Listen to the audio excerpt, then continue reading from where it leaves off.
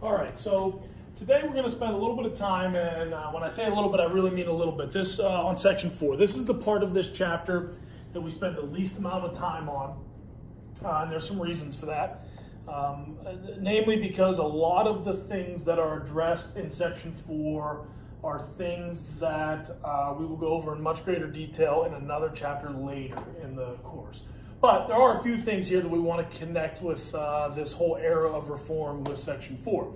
In fact, as, as you read Section 4, took the notes on it, did the worksheets and things, my guess is, is that you are probably on some level wondering, like, okay, how do we get talking about all of this factories and, and, and workers and all that kind of stuff when we're doing a chapter on the era of reform? And there is a little bit of, I can understand that there is a little bit of a disconnect. So I want to make the connection. And the connection is that uh, while most of what we're talking about in this era are, are, reforms that deal with social issues, things in society, things like the slavery issue, things like education, things like uh, rights and liberties of women and others, this, um, that's all about change happening in our society, right, in those areas. Well, this last section focuses mainly on economics, but what it focuses on is this massive change that our country went through in the early 1800s in terms of the way the economy ran. So we're going to talk about uh, these first two bullets, and one of the things that I'll highlight is just how these things create this economic reform, this change. Okay, so uh, what I had to do was go through uh, the worksheet for section four and uh, as I said, we're going to spend less time on this uh, than we did compared to the other sections. And so we're not even going to cover every single thing that you read about and answered questions about. I'm going to streamline it, which is what I've done here with these few bullet points. What I think you should do is have your worksheet out that you completed and also have your notes out and add these things into your notes because we're going to take everything on that worksheet and sort of pinpoint the most significant pieces that you need to have. All right, so uh, for example, uh, the, the very first box in the worksheet that you had to do for section four gave you an effect and you had to identify the cause. And the effect says, the cottage industry system declines and dies. So you had to uh, come up with what caused that to happen. And so the first bullet point I have here is that the cottage industry dies. And one of the reasons that uh, that happened um, that you may have put in that first box is that there was uh, um, all kinds of new inventions and new technologies. So if you had anything about mechanized equipment or inventions or technologies, that's really you know what you need to have in that first uh, box. You may have even put something in there uh, um, about the system that replaced the cottage industry system. So when the cottage industry died, that gave way to the rise of what system? So maybe you put something in there about the rise of the factory system. So just quickly to, to understand the difference between this old cottage industry and this new factory system, the cottage industry works this way. Uh, this was a, a manufacturing system where goods and products were manufactured in people's cottages, in their homes. And so the way it worked is this. Let's just say uh, well, I'm going to skip down here to this third bullet. What was the first industry that Section 4 talked about being affected by this change? It was the textile industry. So textiles are any fabrics. So any clothes that you're wearing, my sweater, um, the flag that I have hanging here, my, my curtains on the window, that's all uh, what we would consider to be textile. So that's the first industry that was affected. The first one that went through this big change. So let's talk about how the factor or the how the um, cottage industry system would work using that example. So let's say we want to make textiles. Let's say we're going to make sweatshirts. All right, that's what our village uh, is going to produce as a product. So the way it would work in the cottage industry system is you would have somebody that um, was, let's say, and I'm going to simplify this, but you'll get the idea with this analogy. That's uh, somebody uh, would be a spinner. So what that means is all of this cotton would be delivered to your cottage. And if you were the spinner, you had some tools and some equipment in your cottage that allowed you to take raw cotton and spin it out into threads. Well, once you do that, do we have sweatshirts? No, there's no sweatshirt yet, right? So then what would happen is all this thread that was spun at the spinner's cottage would be picked up and transported to another cottage.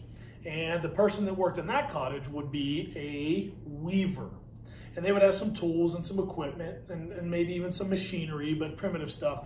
And they would uh, take all of that thread and they would know how to weave it into fabric. So now we've got these big sheets of cloth. Sweatshirts? Not yet. Then we would take all this cloth, all this fabric to another cottage. And let's say uh, someone there uh, had skills in dyeing the cloth three or four different colors. And they would have the chemicals and the minerals and the, the equipment to dye it.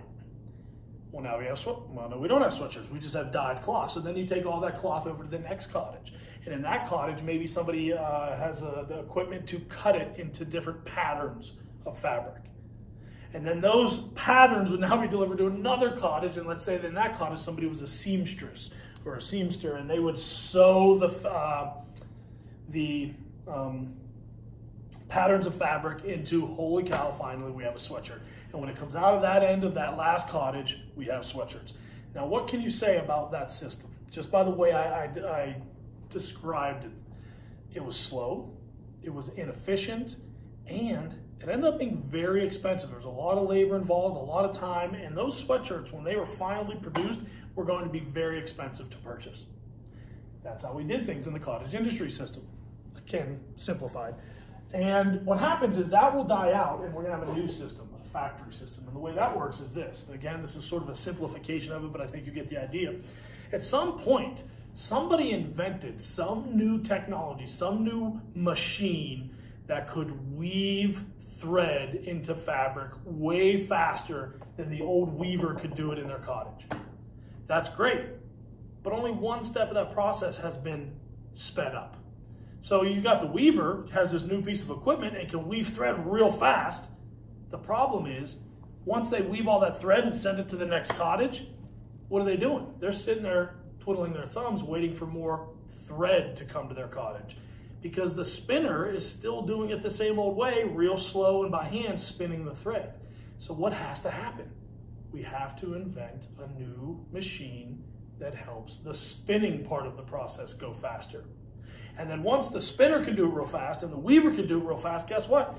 We can't be waiting on the person to dye and so on and so forth. And so what happens is sort of this chain reaction. One thing leads to another, and you see the invention of all these different types of new technologies and equipments and machines. The problem is a lot of these machines, there's two problems with them, are massive, they're huge. Guess what? They don't fit in someone's living room in their cottage. And they end up being pretty expensive. So it's not like just an average Joe Schmo worker in the village can afford to buy this new spinning Jenny as it was called. So what ends up happening is we have to figure out a place to put these big giant machines and a way to make it affordable and a fit. And all of a sudden, somebody says, hey, maybe we just build a huge building and we put all the machines in one location where they all fit. And that was a simplified version of how the factory was created. And from there, the factory system sort of takes over the way that we manufacture goods as we said, the first industry to be affected by all this, and that's why I used the sweatshirt analogy, was the textile industry. But eventually, this new change and this new economic reform that's happening is going to happen in all different types of businesses. Now, um, if you're going to talk about the beginning of the textile industry in America, this switch that was happening, you have to talk about Sam Slater. Your book doesn't mention Sam Slater, which is why I had you read that short biography of him and answer those few questions about Sam Slater. So that's what this next bullet point here is. It's just a reminder to look at the Sam Slater worksheet. So I just want to go over one thing, a little uh, review of one thing from that worksheet. Sam Slater is kind of like the Industrial Revolution James Bond, if you will, because in his story you learned that he brings all of his knowledge and information about this textile manufacturing from England. At the time, England was leading the world in textile manufacturing. They had already gone through this system and they had already invented the equipment and the machines and the processes. Um, and so they were killing it. They were exporting textiles all over the world.